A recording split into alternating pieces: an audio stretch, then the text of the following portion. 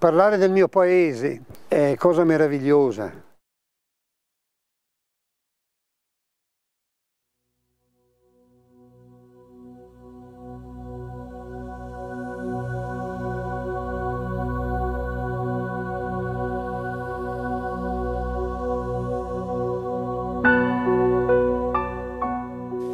Ognuno di noi conserva nel proprio intimo un'immagine primordiale, originaria della terra dove è nato. Nemmeno ce ne rendiamo conto, ma essa affiora a sprazzi qua e là in certi frangenti della nostra vita per poi ritornare di nuovo nei labirinti del nostro subconscio. Una visione nebulosa ed incerta di una terra collocata sul fondo di una valle e delimitata dalle coste e dai pendii di montagne e colline.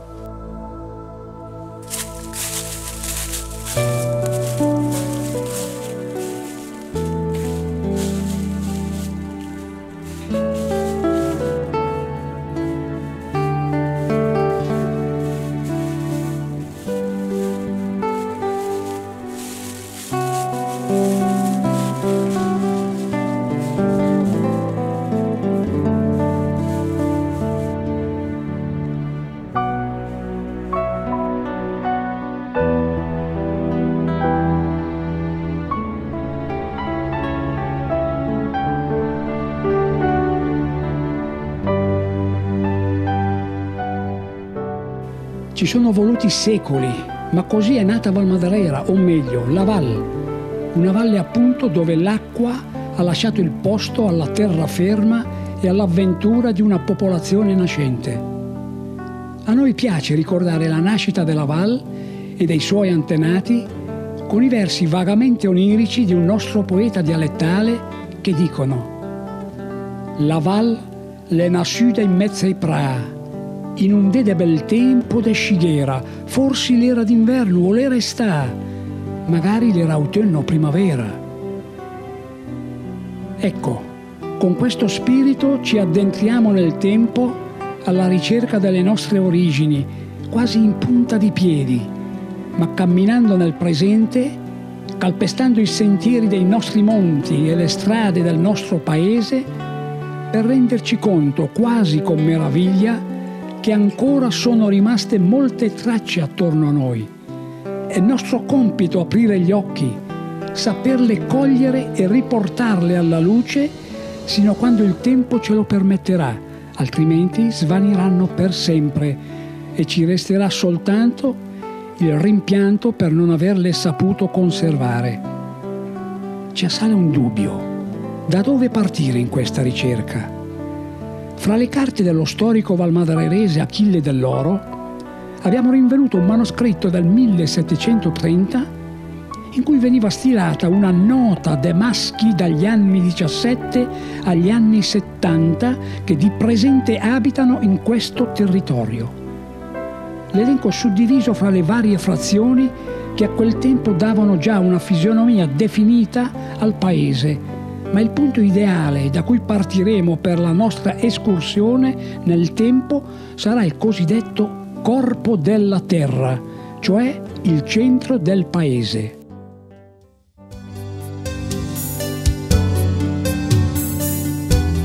Quando nel 1500-1600 venne edificata la prima chiesa parrocchiale qui nel centro paese, il nucleo abitativo si spostò progressivamente dalle pendici, da San Tommaso fondamentalmente, fino all'attuale centro. E oltre allo spostamento del luogo di culto si spostò anche tutta la vita quotidiana della gente nel centro. Non è un caso infatti che negli anni 60, in occasione della risistemazione della piazza, vennero trovate delle ossa probabilmente pertinenti a un cimitero, all'antico cimitero della chiesa, nel quale venivano sepolti i cittadini valmadreresi. Peraltro il nucleo centrale del paese era già stato insediato molti secoli prima, nei primi anni d.C., nei primi secoli d.C., e testimonianza di questo insediamento romano sono fondamentalmente due nuclei di tombe, rinvenuti il primo nel 1935 e il secondo nel 1971, rispettivamente in via Cavour e in via Trebbia, al confine quasi con Civati. Il primo nucleo di sepolture romane, rinvenuto appunto in via Cavour, è stato datato ai, ai decenni finali del primo secolo d.C., quindi nella prima età imperiale. Erano tombe prevalentemente a incinerazione, quindi il rito prevedeva ancora la combustione del morto e nella cassa che veniva costruita e rivestita in pietra in laterizi, insieme alle ceneri del defunto, vennero inserite anche diversi oggetti che richiamavano l'attività durante la vita del defunto.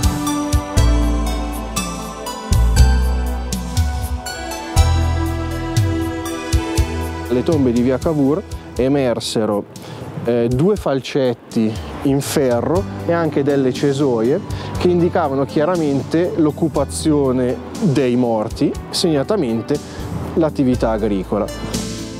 Il secondo nucleo di tombe fu individuato, come dicevo, nel 1971 in via Trebbia. È un gruppo di tre tombe, di cui una sola ha, restitu ha restituito corredo, un corredo che si segnala per la ricchezza e per la particolarità. Il corredo di una di queste tombe era particolarmente ricco perché è composto da una bottiglia di vetro, da un balsamario sempre vitreo, cioè una piccola ampollina contenente gli oli per la cosmesi, la decorazione del viso, prevalentemente femminile ma non esclusivamente femminile, e soprattutto da tre armille di metallo. Le armille sono dei braccialetti non tanto da polso quanto da braccio questi manufatti presentavano decorazioni in stile geometrico ma anche zoomorfo, quindi terminazioni a forma di serpe, in questo caso piumata, che rimandavano a ambiti culturali, a competenze tecniche d'area celtica. Questi due importanti ritrovamenti in definitiva dimostrano come in età antica la valle di Valmadrera fosse stabilmente occupata da contadini ma anche da personalità con una buona disponibilità economica prima che nel Medioevo col peggioramento delle condizioni, con la mancanza di sicurezza dovuta alle scorrerie di vandali e di barbari, la popolazione si spostasse trasferisse la propria dimora sulle pendici delle montagne, prima che nel 5-600, ancora una volta, l'insediamento si rispostò nel centro attuale, dando origine a quella che è l'attuale Valmadrera. Siamo all'interno della chiesa parrocchiale dedicata a Sant'Antonio Abate,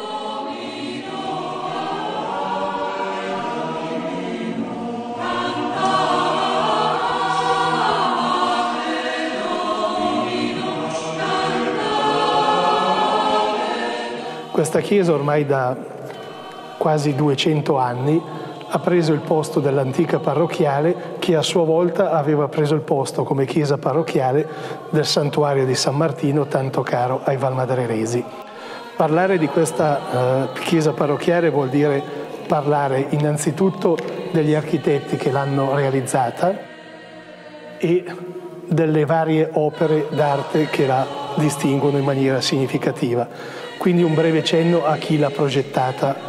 Si tratta di quattro architetti, Clemente Isacci che è l'autore del primo disegno che poi è stato seguito in maniera quasi sostanziale, dall'architetto Giuseppe Pollack che dopo un'interruzione di lavori dovuti a carenza di fondi ha riesaminato un attimo lo stato del, di avanzamento dei lavori, dall'architetto Giuseppe Bovara che l'ha, eh, diciamo così, perfezionata e dall'architetto ticinese Simone Cantoni che ne ha curato in maniera significativa la facciata. Di questa chiesa possono colpire vari elementi. Parliamo di quello architettonico che è costituito dalle quattro grandi colonne in ghiandone della uh, Valmasino, colonne che sono state realizzate sul posto dal, um, dal Piccapietra della Val d'Intervi Giovanni Battista Rizza, coadiuvato da tre suoi aiutanti, colonne che ne sono un pochettino la caratteristica di questa chiesa, data la loro eh, significativa dimensione. Per quel che invece riguarda le opere d'arte, possiamo innanzitutto parlare della, delle due statue in marmo di Carrara, realizzate dallo scultore Benedetto Cacciatori, allievo del Canova, due statue che raffigurano il Cristo Redentore e Sant'Antonio Abate, il patrono della parrocchiale.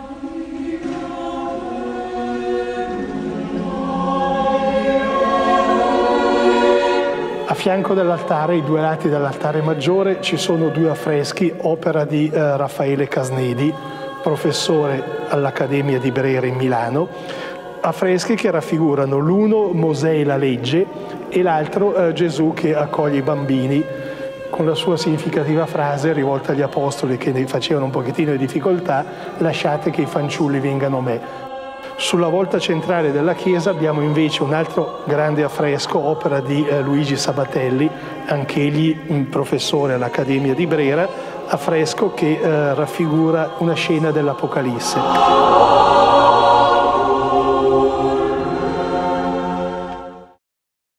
Abbiamo poi, eh, sempre all'interno di questa chiesa, due altari laterali, entrambi eh, arricchiti da due tele una tela raffigurante la Madonna ed è opera di, del Bertini, pittore famoso in Milano, anche perché ha realizzato no, alcune vetrate all'interno del Duomo. L'altare della crocifissione è invece abbellito da una tela di Mosè Bianchi, artista monzese, una tela che raffigura un Cristo crocifisso.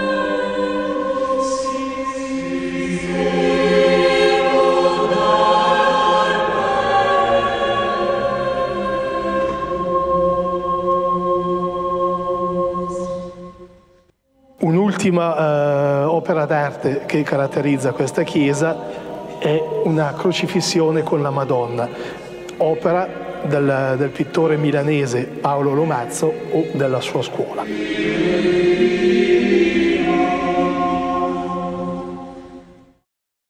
Il complesso architettonico, denominato Centro Fate Bene Fratelli, ubicato nel centro di Valmadrera, tra la chiesa parrocchiale e il municipio, ha preso il nome dagli antichi diritti di proprietà vantati nel paese dai frati dell'ordine ospedaliero di San Giovanni di Dio di Milano, conosciuti come Fate Bene Fratelli. I rapporti tra la congregazione ed il paese di Valmadrera risalgono al Seicento, a seguito dei lasciti testamentari in Valmadrera da parte del nobile Francesco Mandelli. Dall'inventario redatto accuratamente nel 1787 risulta che il complesso comprendeva allora una casa da nobile nella parte nord-ovest e una serie di edifici corrispondenti alla stalla con cascina e torchiera con due cantine. È probabile che i religiosi abbiano apportato modifiche strutturali al complesso edilizio in relazione agli obblighi assistenziali del loro ordine. Fecero inoltre dipingere sulla parete destra del portico del Palazzo Nobile un affresco con la Vergine e due angeli che porge il bambino Gesù a San Giovanni di Dio. L'affresco, strappato nel 1787, è oggi conservato all'interno della biblioteca civica, precisamente in sala consigliare. Ulteriori ristrutturazioni furono determinate dallo sviluppo di attività rurali e manifatturiere. In particolare furono aggiunti una scuderia e una filanda con 10 fornelli, che si trovavano molto probabilmente negli edifici posti nella parte nord. Il complesso dei Fate Bene Fratelli, acquistato dall'amministrazione comunale negli anni Ottanta, ha subito radicali trasformazioni ed è oggi costituito da vari edifici distribuiti sui tre lati di un cortile di forma trapezoidale, posto in comunicazione con l'orto botanico, situato ad un livello inferiore. Sul lato nord-ovest si trova un palazzo di aspetto seicentesco, con portico coperto da volte a crociera, restaurato all'inizio degli anni 2000. Alcune delle finestre del piano superiore sono ornate da balaustre in ferro battuto, recante il simbolo dei Fate Bene Fratelli, un melograno da cui sorge la croce di Cristo. In questo edificio si trovano la biblioteca civica e la sala consigliare.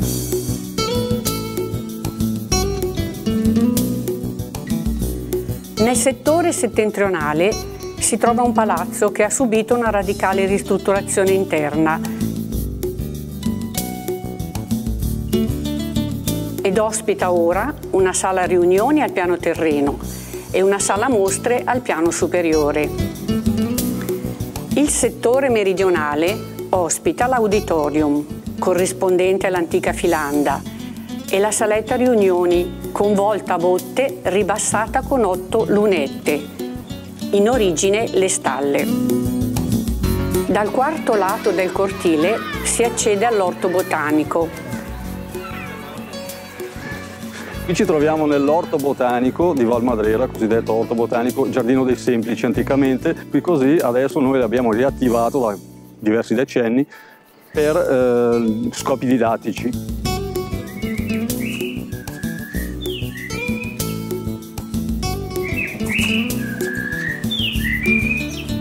È molto significativo il recupero di questa pezzatura di orto, perché già nel Settecento era adibito a orto dei semplici dei Fate Bene Fratelli. E con questo recupero noi abbiamo cominciato a piantumare le prime erbe che le abbiamo trovate qui nella nostra zona. Noi abbiamo um, delle selezioni di piante, tutte aromatiche, medicinali, officinali. Abbiamo parecchie piante inserite che non sono qui, sono mediterranee, tipo il melograno o il banano che viene molto più in giù anche, e il mirto che viene dalla Sardegna o piante della costa mediterranea, dalla Toscana in giù. Ah, la sala esposizioni era destinata a infermeria Ecco, i paesi qui limitrofi portavano gli ammalati dove questi religiosi per un qualche giorno li curavano. Le malattie di allora cos'era la pelagra, denutrizione, ecco, igiene anche, no?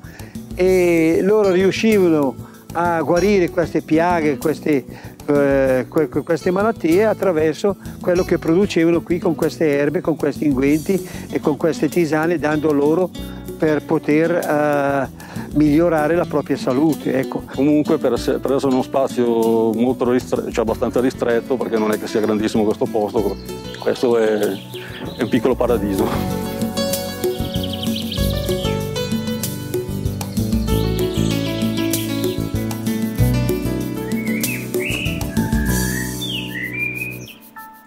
Il centro si propone come fulcro delle attività culturali della città.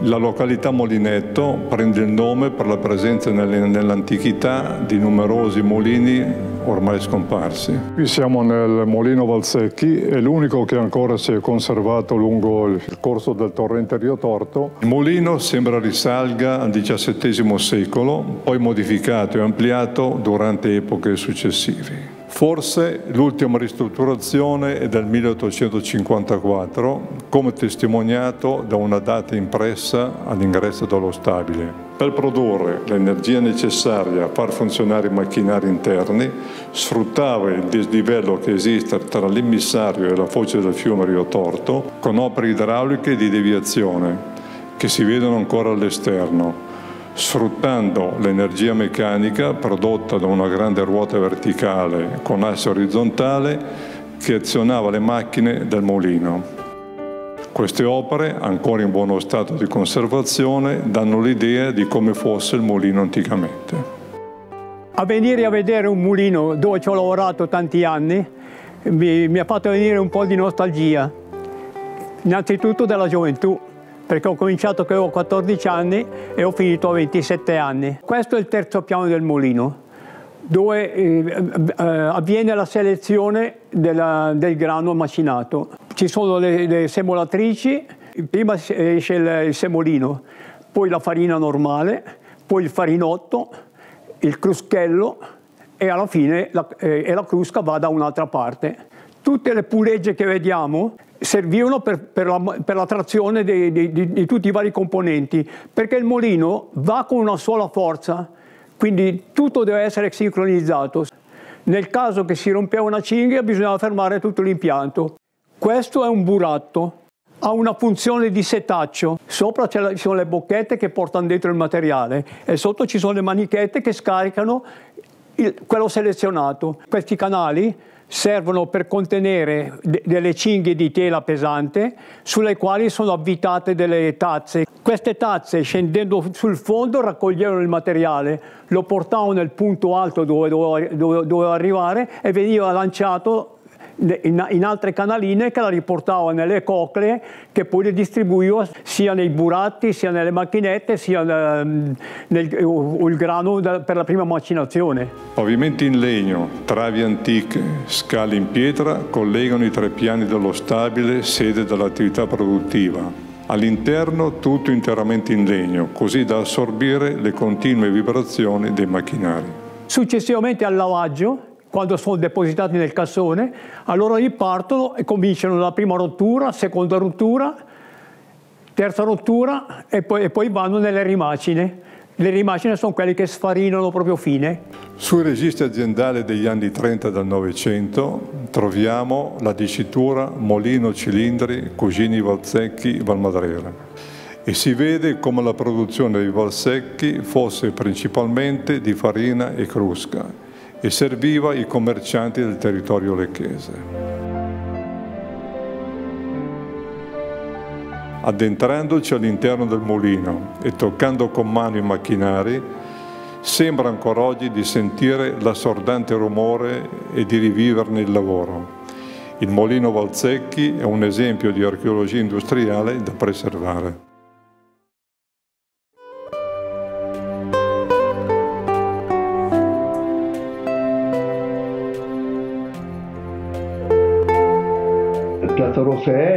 Sempre stata una cascina, fino al 1947 eravamo qua in tre famiglie, poi eh, due famiglie sono scese in paese e d'ora in poi eh, sempre la mia famiglia che è rimasta qua.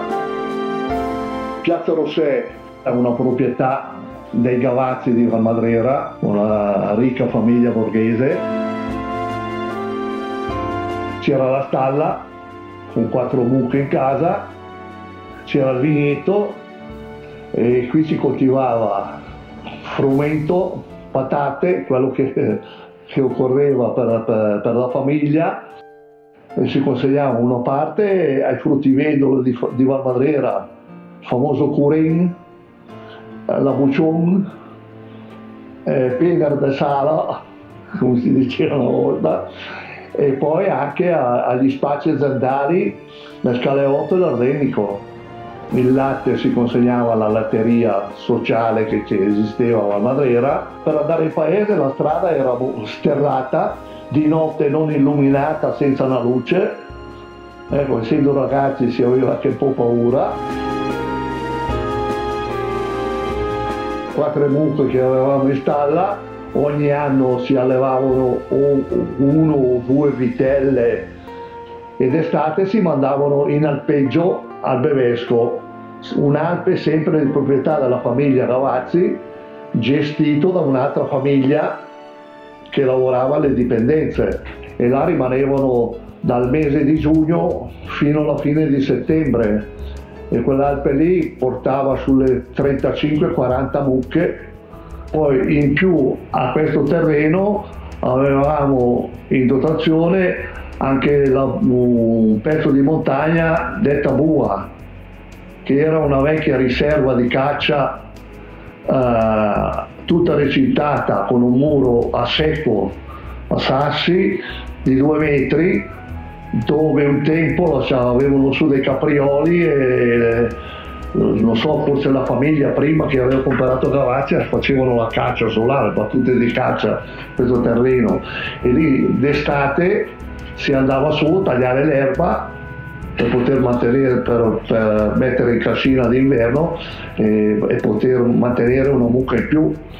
E d'inverno si andava a tagliare la legna per, per il riscaldamento casa nel 2013 questo terreno è stato acquistato dalla casa Don Manella, la mia esperienza la trasmetto a questi ragazzi in modo che questo terreno venga coltivato come una volta e rimanga tale quale. Ci troviamo in località Rocca di San Dionigi all'interno della chiesetta dedicata al santo omonimo, che, chiesetta che ormai da più di mille anni protegge eh, questa piccola comunità o meglio, per la precisione non sappiamo quando la chiesa è stata costruita. L'unico riferimento certo è sempre il libro dei santi della diocesi di Milano, redatto da uh, Goffredo da Bussero nel 1289 e in questo libro abbiamo notizia dell'esistenza nella Valle Madrera, quindi nel territorio, chiamiamolo così, della Valle del Rio Torto, della chiesa di San Martino, della chiesa di San Tommaso e appunto della chiesa chiesa di San Dionigi. Facciamo poi un salto di qualche centinaio d'anni, arriviamo al 1510, quando la famiglia Mandelli, una nobile famiglia di Milano che aveva dei possedimenti anche in questa zona, istituisce un diritto di gius patronato sulla chiesa di San Dionigi con obbligo di celebrazione della messe, dota la chiesa di un fondo congruo per cui se ne deduce anche che la Chiesa non aveva un ruolo di celebrazioni occasionali, ma proprio celebrazioni eh, regolari. A quell'epoca, 1400-1500, risalgono anche gli affreschi, o meglio, i lacerti di affreschi, di affreschi, che vediamo adesso nella chiesa e che sono stati portati alla luce a fine anni 80, fine anni 1980, perché grazie all'intervento di un benefattore sono stati eseguiti alcuni lavori di restauro, lavori che hanno portato alla luce quello che è rimasto degli affreschi di quell'epoca affreschi che ritraggono ovviamente la Vergine col bambino e poi alcuni santi particolarmente venerati, San Cristoforo, San Rocco, eh, San Sebastiano. Sempre in tema di affreschi c'è l'affresco che eh, vediamo alle nostre spalle che raffigura il vescovo Dionigi, un affresco non certo di autore noto, ma comunque un affresco alquanto pregevole.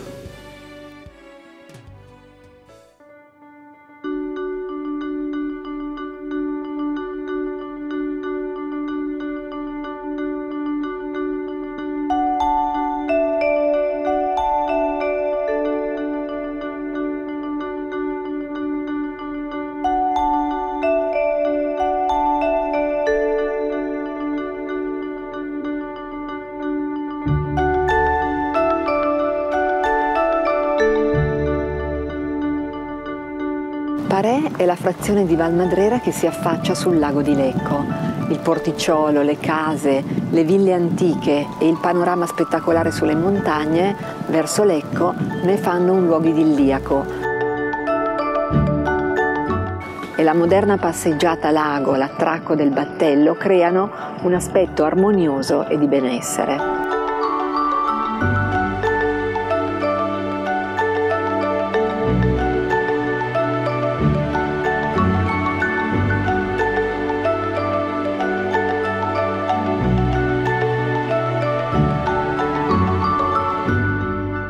Frazione, il cui nome Paredo, Pare Vecchia, appare per la prima volta nel censimento del 1730, negli anni 40 e 50 del secolo scorso era poco abitata.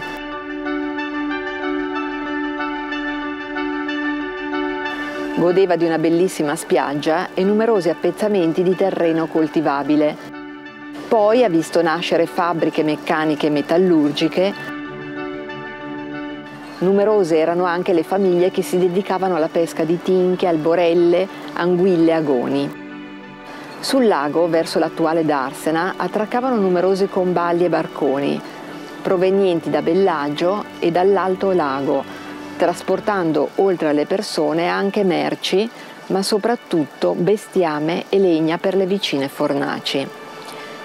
Le fornaci, situate in località Sassello, funzionavano fin dai primi decenni del Settecento. Nel 1800 erano 12 situate sulla spiaggia ai piedi del Moregallo e 4 hanno funzionato fino agli anni 50 del Novecento. Oggi, testimone di questi tempi, ne rimane solo una, la fornace chiamata Tripoli. Questa è una calchera, un meraviglioso esempio di fornace per la produzione di calce in esito alla combustione di calcare. Le montagne valmadreresi sono composte prevalentemente di calcare molto puro che è ottimale per la realizzazione di calce. Il funzionamento della fornace molto, era molto semplice. A piano terreno c'era la camera di combustione dove veniva alimentato costantemente il fuoco mediante aggiunta progressiva di legname. Al piano superiore invece venivano inseriti blocchi di calcare provenienti dalla montagna la cui cottura consentiva la produzione di calce. Ovviamente il manufatto che risale al XVII secolo fu rimaneggiato più volte, si possono notare queste arcate cieche in quanto tamponate, poco più in alto si osservano dei fori pontai, segno di una presenza di una balconata linea, perché dal foro che vedete proprio sopra l'arcata veniva asportata la calce già pronta che poteva poi essere utilizzata nell'edilizia.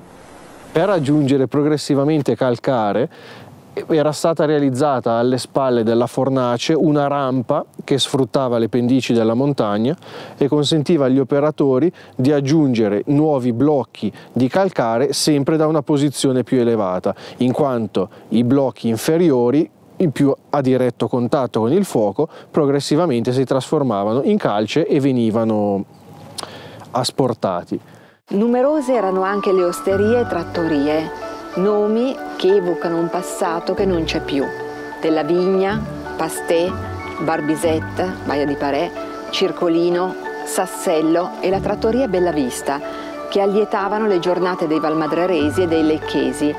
Oggi sono state trasformate in moderni bar e ristoranti.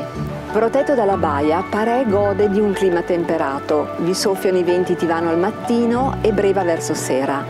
Per questo è diventato luogo di attrazione per surfisti e velisti.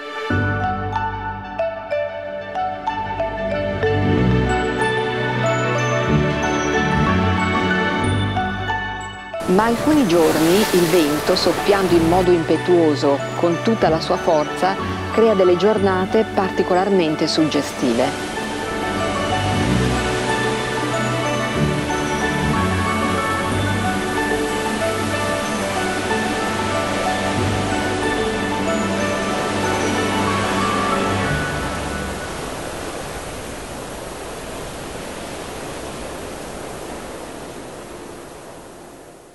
Il complesso della filanda bovara di Paré può essere considerato come il primo insediamento industriale del nostro paese.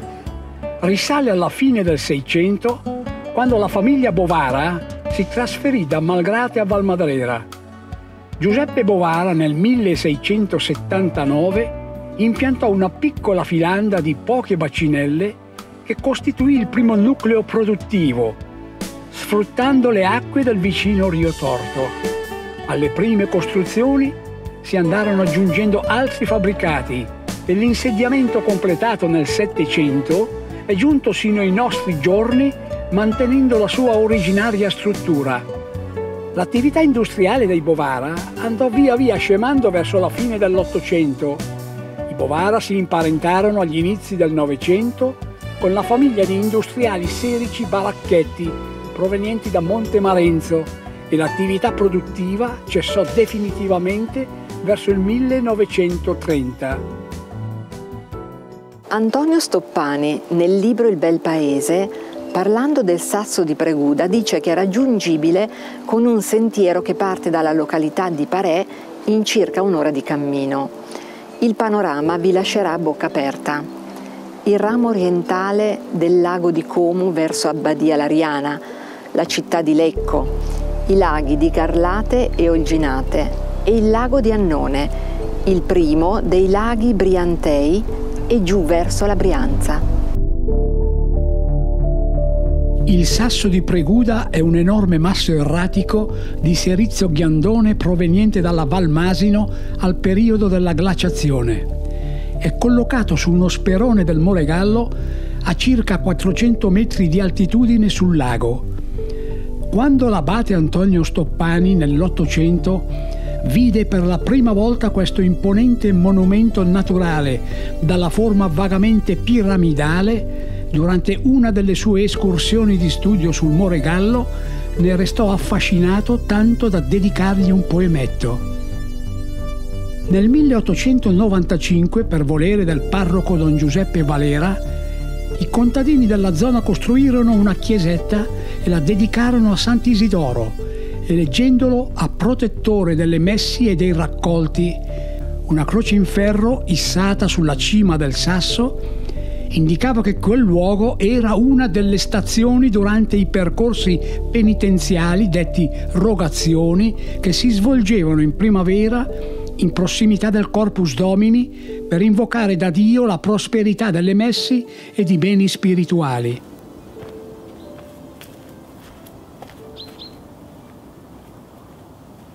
Dal 1984 siamo messi un gruppetto di volontari e abbiamo pensato di metterci a mano un po' sta chiesetta perché e tutto il resto qua in giro che da tanti anni che non, eh, non, si faceva più niente tranne che venire su una volta all'anno dir messa e fare un po' di pulizia.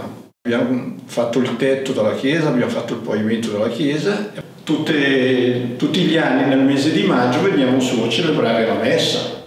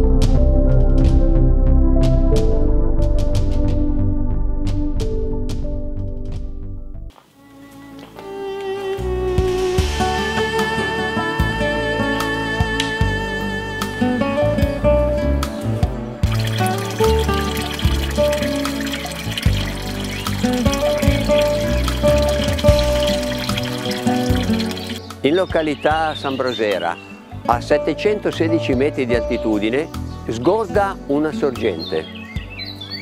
I numerosi resti di casere, caselli e casotte testimoniano certamente l'insediamento di un alpeggio. Qui, durante i mesi estivi, una comunità di contadini si dedicava all'agricoltura e all'allevamento del bestiame, degli ovini e dei caprini.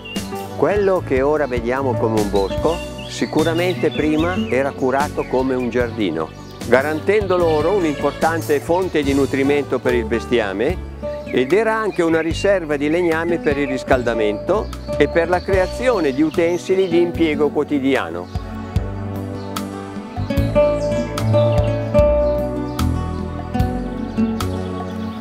Nel 1813 da questo masso erratico di Cerizzo Ghiandone furono estratti i blocchi per la costruzione delle quattro grandi colonne della chiesa parrocchiale.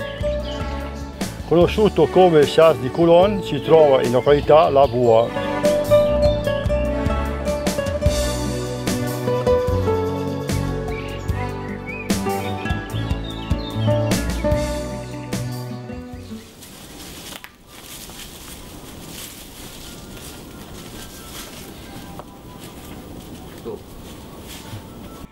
Nelle vicinanze di Piazza Balcon troviamo il San del. La leggenda racconta che qui dentro durante un temporale si ricoverò un contadino. Il perdurare, il perdurare del maltempo no? costrinse lo stesso a rimanere segregato lì dentro per alcuni giorni e mangia, e mangia, e bevi, e bevi e soprattutto bevi quando si trattò di uscire, il contadino rimase bloccato. Come sia finito non si sa. Dai, lo fai. Butta giù.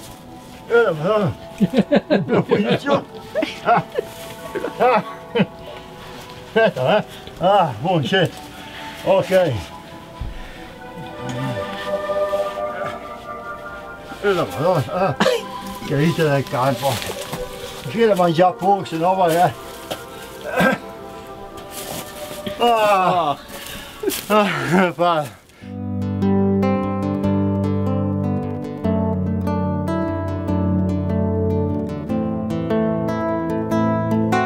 Mondonico per i valmadreresi Mundunec, lo dico con orgoglio perché mia mamma è nata lì, è una delle località più caratteristiche e più antiche di Valmadrera, sulla strada che porta a San Tommaso con un bellissimo arco che è rimasto intatto, era già presente, era già abitata nel 5-600, il che fa capire come tutta la zona montana fosse la prima zona coltivata e abitata di Valmadrera e insieme al più famoso San Tommaso caratterizza un po' le origini contadine di Valmadrera e soprattutto come le famiglie risiedessero lì e facessero lì il proprio sostentamento. Sta di fatto che sono rimaste lì fino a dopo la fine eh, della seconda guerra mondiale, anzi proprio durante la guerra il fatto di essere famiglie contadine permetteva loro di resistere e sussistere un po' meglio. Messacciamo abitavano due famiglie, i Panatta e i Pujanet. Avevamo la stalla con quattro mucche, quattro capre, conigli e galline Facevo i formaggini, formaggini bianchi e impeverati. In Valmadrera andavamo giù a prendere un po' di pane. E basta. E basta, più niente. Il latte lo portavamo al casello della ramina e avevamo là due ramine per uno, uno loro, Panatta. il panatta e, uno, e due noi. Dopo ognuno avevamo il, un pezzo di, di asse che mettevamo sui formaggini.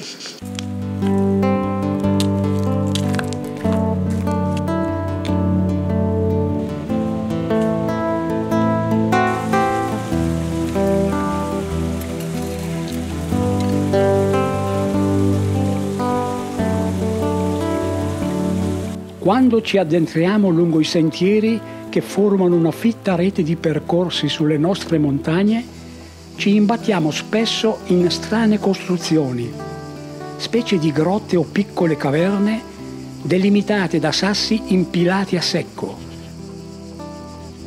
Solo da alcuni anni gruppi di volenterosi e di valmadreresi amanti della montagna si sono impegnati a tracciare una specie di mappa e fare un inventario di queste strutture che piano piano stavano per venire soffocate dalla vegetazione selvaggia e scomparire così alla vista per sempre. Ebbene, queste costruzioni disseminate sui nostri pendii erano nei tempi passati un punto di riferimento importante durante il tempo della fienagione, un luogo di rifugio in caso di maltempo o per la notte per gli agricoltori ed i contadini che pascolavano le greggi di pecore e capre e per la conservazione temporanea dei prodotti agricoli. Sono le casote e i caselli del latte.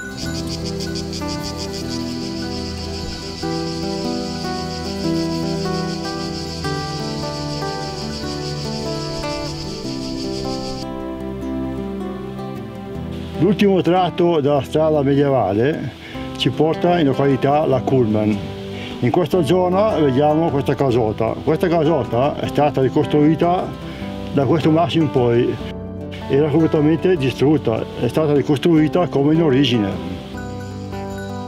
I volontari di Valmadrera ne hanno recuperati e ristrutturati un buon numero che contrassegnate con targhette di legno indicano ora all'escursionista i nomi degli antichi proprietari la casota del Spregascina, del Pertega, del Parasciola, dei Madalen e molte altre disegnano una geografia del nostro passato riportandoci al mondo agricolo dei secoli scorsi e restano ancora sul nostro territorio come una traccia visibile delle nostre radici.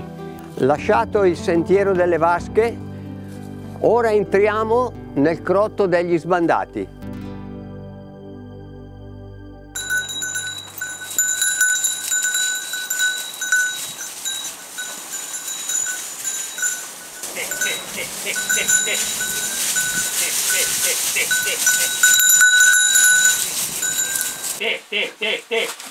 Notevole per la sua ampiezza interna è il Clot de Funzi, in località Creminola, costruito nel 1910 e ricavato da una grotta naturale occultata da pietre abbarbicata alla roccia che si raggiunge da un ripido sentiero.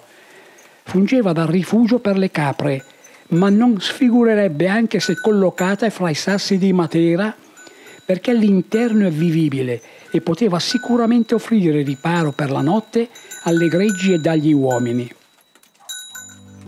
I caselli del latte fanno parte di queste costruzioni e sono prevalentemente collocati nei pressi delle sorgenti o dei corsi d'acqua, perché erano adibiti alla custodia di prodotti alimentari come latte e formaggio e quindi necessitavano di luoghi più freschi.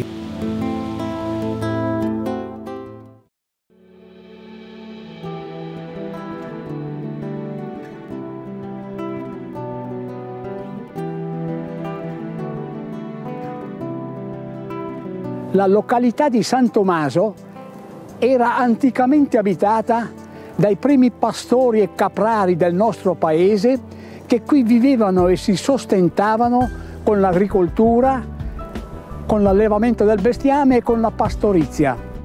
Già verso il 1300 il presbitero e storico Goffredo da Bussero scriveva nelle sue cronache di un luogo di culto esistente sulle alture di Valmadrera dedicato a San Tommaso.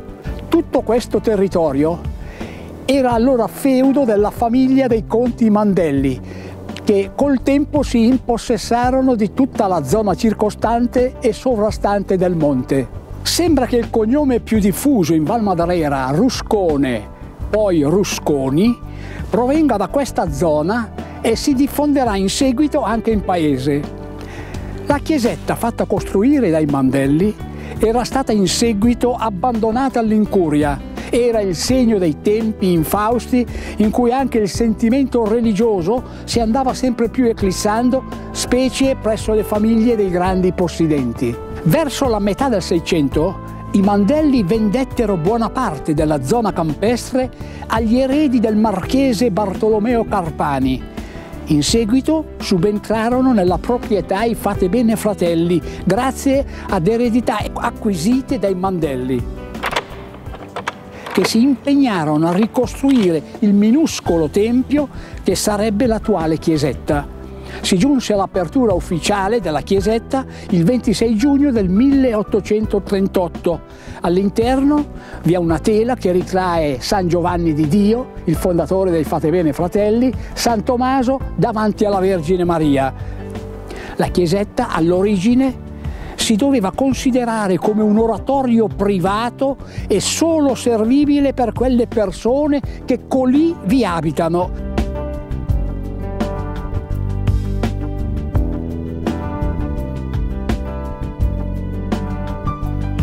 Nei secoli seguenti a questo luogo di culto si andarono sempre più affezionando i valmadraresi che l'hanno rimesso a nuovo con interventi e restauri vari e specie negli ultimi tempi viene periodicamente aperto per la celebrazione della messa.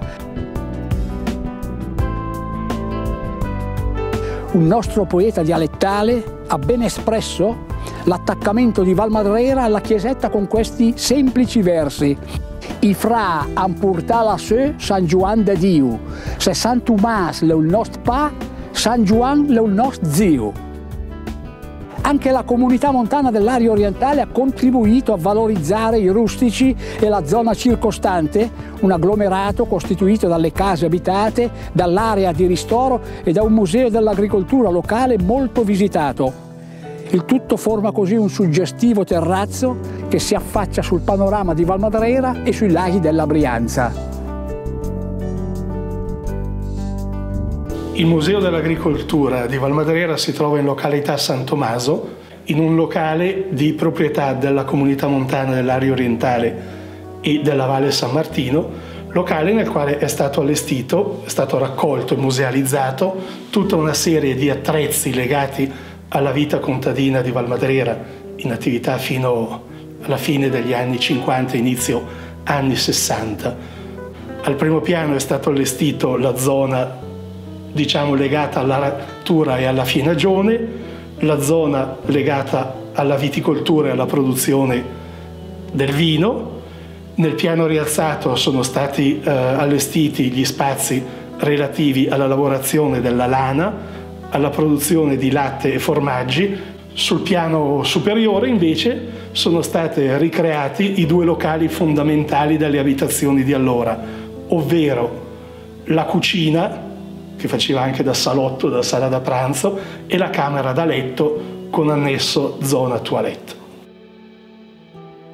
Io sono Rusconi Antonio, sono figlio de, degli ultimi contadini, diciamo così, che hanno vissuto a San Tommaso, Gerolamo, vivevano con quel poco che dava la terra, quel poco che si riusciva a racimolare, tagliando la legna, coltivando il gran turco, c'erano i bacchi da seta. Patate, mais, fagioli, cose, che poi metto quel de orzi, quello che sempre sta, l'orto. Poi io la costesse, Sembra in cale e vedete in prua ho da 40 quintali di castagno non chi ha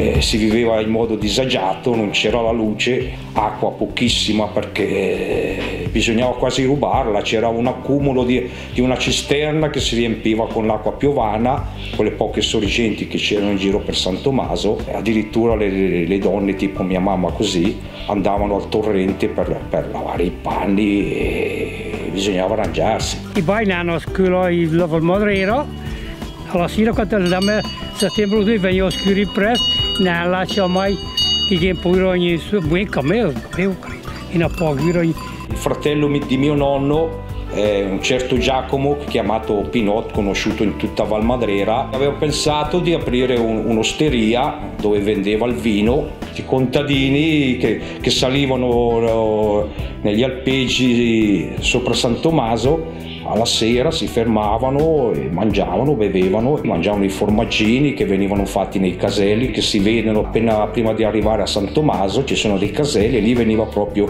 la, tras- la conservazione, la trasformazione del latte dopo gli anni San Tommaso oramai era passato nel dimenticatoio. Ben vengano questi contadini testoni, come si suol dire, crapuni della Val, che non hanno mollato. E...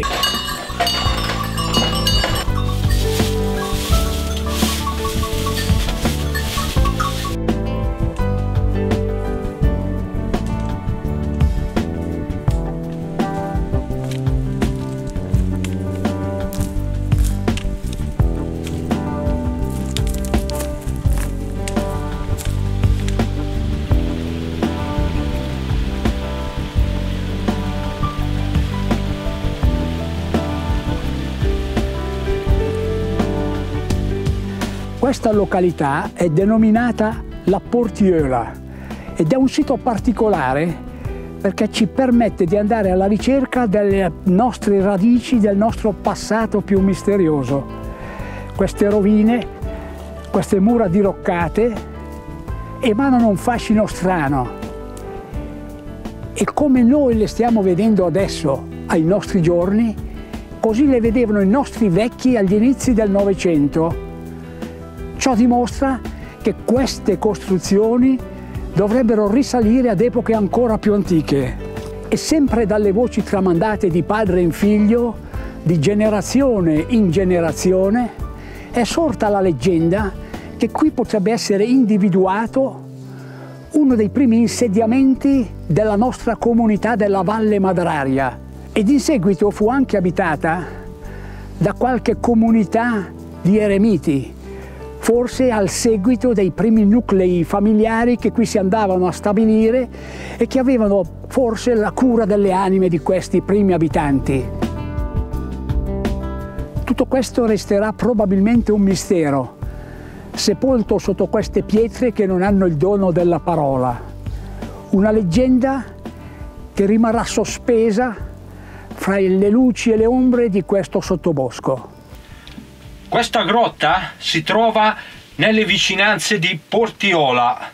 I nostri genitori, per impedirci di entrare all'interno, eh, eh, ci raccontavano questa storia. Un pastore che portava le pecore a pascolare in questa zona ha visto entrare il suo cane all'interno di questa grotta e poi il cane è scomparso, non si è più visto per tutta la giornata. Il giorno dopo questo cane dove riappare? Nella zona di San Pietro al Monte. Questa sì che è una bella leggenda.